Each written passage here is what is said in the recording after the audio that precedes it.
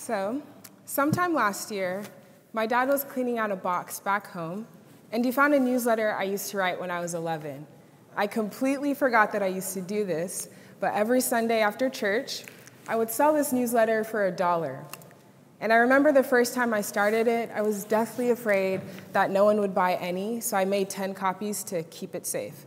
But I actually sold out, so the next Sunday I did what any other 11 year old would do I made more copies and I increased my prices because who doesn't want to make money off of their side hustle?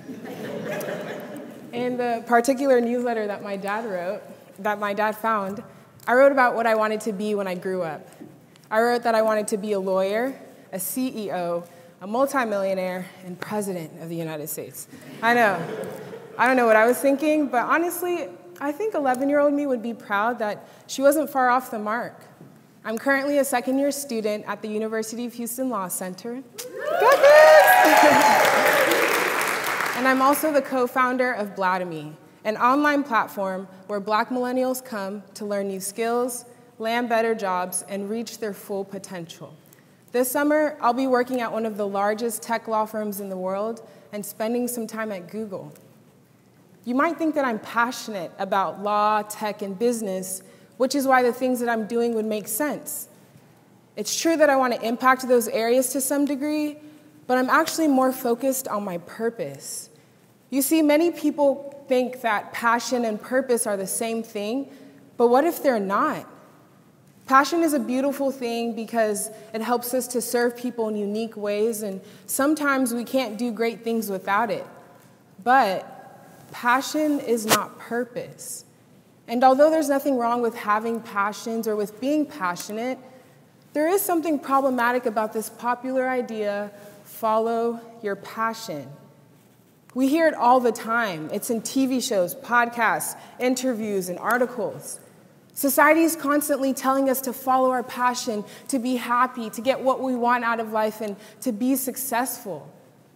But the problem with this idea of following your passion is that it doesn't give a full or realistic picture of how to live a truly fulfilling life, especially when life doesn't go as planned, which sadly is a lot of the time.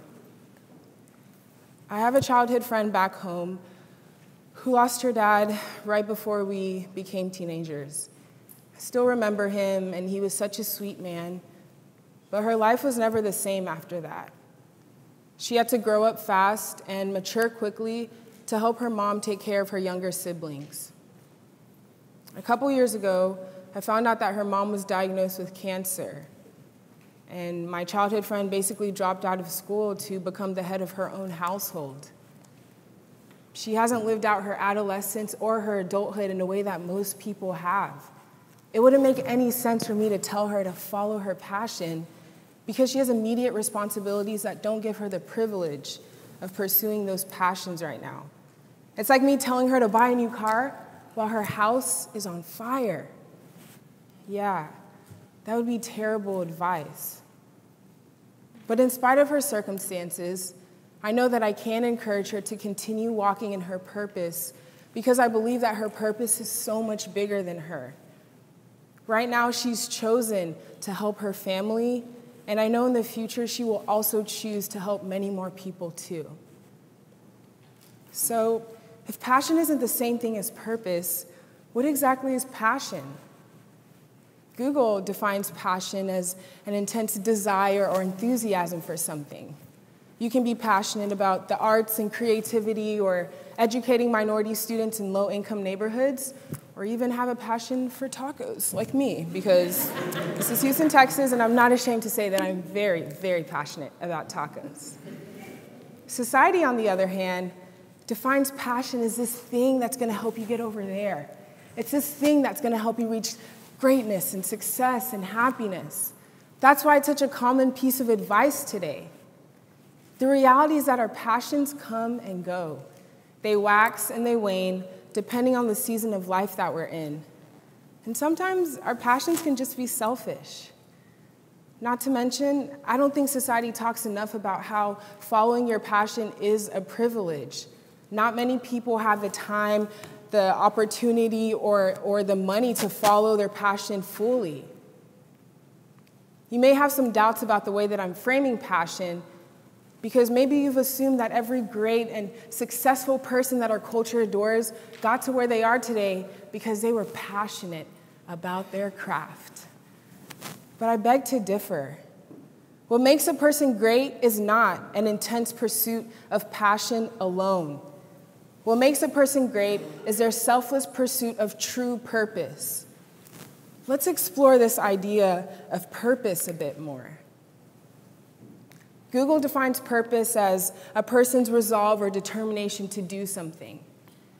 And I define purpose as a pursuit that seeks not only to enrich a person and their inner circle, but also seeks to enrich the lives of the people a person comes in contact with every single day.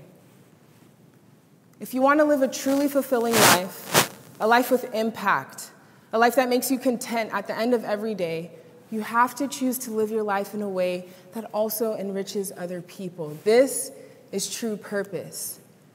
Don't be mistaken. True purpose isn't something you just find or you stumble upon in 20 years. True purpose is thinking about the person you want to be 20 years from now or the life you want to have lived by the time you're 80 and finding a way to start walking that vision right now. I've come to this realization about true purpose because I'm in a world where external perception, approval, predestined standards all matter and sort of define your purpose. In law school, one of the most important things you can do as a student is to join a journal, especially the Law Review, which is the most prestigious of the journals. Many employers and judges look for this on a student's resume, and some don't even give you the time of day if it's not on there. Naturally, after my first year of law school, I seriously considered joining a journal because that was the expectation, even though I knew I didn't really want to do one. Plus, my grades weren't good enough to get onto law review. But I spoke to some upperclassmen and some attorneys about the conflict that I was having, and all but two of them strongly advised me to join a journal for two main reasons. One reason was that it would help me during recruiting season at the end of the summer, and the second reason was that I didn't know where my career was going to go as an attorney, but having journal on my resume would sort of open doors for me down the line and secure some sort of future success. And I'm not here to bash journal or anyone who's joined one, but that reasoning just wasn't compelling for me. I didn't understand why having a journal on my resume was the standard by which to measure my success as a law student or my future as an attorney. I didn't understand why there weren't other ways for me to get great job opportunities and show my employers value regardless of what was on my resume. I didn't understand why this was the standard. I wanted to do something that was fulfilling, something that was bigger than me, and not just for the sake of checking off a box. I wanted to do something that would allow me to help people walk in their own true purpose, and for me, that was Blademy. For a long time, I actually thought that I was the only one who felt this way. I thought that I was the only one who wanted more than what a successful career or a good reputation could get me. But after talking to some people, I found out that I'm not the only one who longs for more than what society has offered us. Deep down inside, we all do. We are all looking for our true purpose. Simply put, I've discovered that my true purpose is to be a light I want people to come in contact with me and leave with something new, whether that's a laugh, a smile, or maybe a next step. I don't have to be well known, I don't have to be perfect or have a large following to do this. And I'm not saying that I walk around school with like a fake smile plastered on my face, like, hey guys, this is me, I'm walking in my true purpose, you know, the smile's for you. Like, I'm not talking about that. I'm talking about being more cognizant that in the midst of my daily schedule, my daily plans, there are other people who are walking on their own journeys through life, and I can leave a seed on their own way. I used to think that this is what I wanted, and I used to think that I was the only one who wanted this thing, but I'm honestly not. And I'm not the, I can't control all the things that happen in my life, of course, but I can make the choice to be a light and to impact people regardless of what happens. Bryan Stevenson is a public interest lawyer who graduated from Harvard Law and he's argued and won several cases before the Supreme Court. He and his staff have won more than 135 reversals and reliefs for wrongly condemned prisoners on death row. He has at least 40 honorary doctoral degrees and several other awards for his work with the Equal Justice Initiative.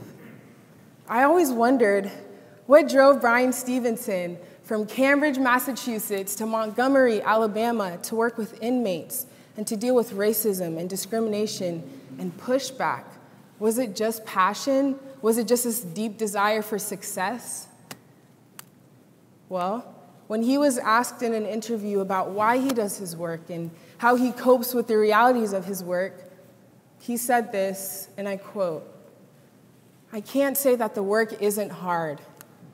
It can at times be really overwhelming. But it's liberating to be purpose driven, to be pulled by a belief that there is something better waiting for us, and to be encouraged by a community of people who've come before me and found ways to stand when others said, sit down. I'm not saying we all need to go to law school and become civil rights attorneys. But if you want to go to law school, let me know. I might be able to help you with something. know a little bit about the L side. But what if we all took a moment to stop and to just think about the ways that we could enrich other people outside of ourselves? I wonder if we would be as concerned with the resumes, the accolades, the followers, and all these things that get people's attention, the things that we define our purpose by and the things we assume our passions will lead us to. Look, I'm 22. There's a lot about myself that I am still figuring out. So you can trust that I'm in this boat with you, trying to understand how to live a life that is worth living. When I was 11 and writing down all those things that I wanted to be in the newsletter, I thought that my true purpose was in my career. The bigger, the better. What 11 year old doesn't want to be president? What I've come to realize now is that law, tech, business, making tacos, all of my other passions and interests are merely avenues for me to walk in my true purpose to help others. And as I've learned more about life, I've just seen how fleeting life is here today and it's gone tomorrow. That's why this talk is actually my invitation to you to explore three things. One, passion is not purpose. Two, purpose should be our focus. And three, our successes and passions aren't just for our personal portfolios. These things are actually avenues for us to walk in our true purpose to help others. Passion alone will leave you restless, but walking in your true purpose will fulfill you in ways that you never thought were possible. Thank you.